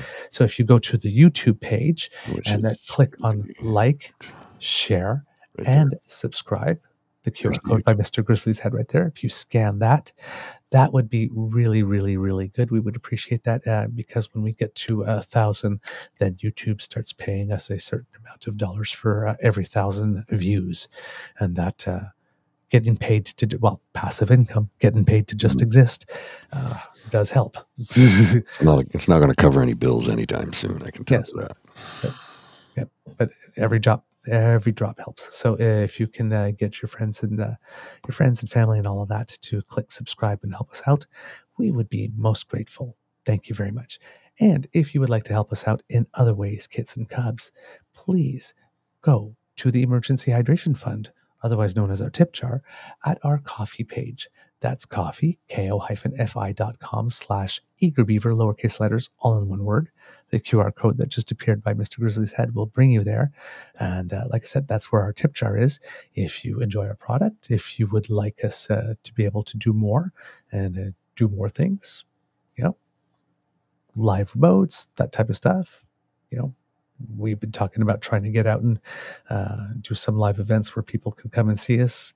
that does require some money. So if you would like to those things to happen uh, to uh, help with upfront costs for that, then please do uh, drop a few coins in there if you have it. And if you can't, that's quite all right because the most important thing to us is the gift of your attention.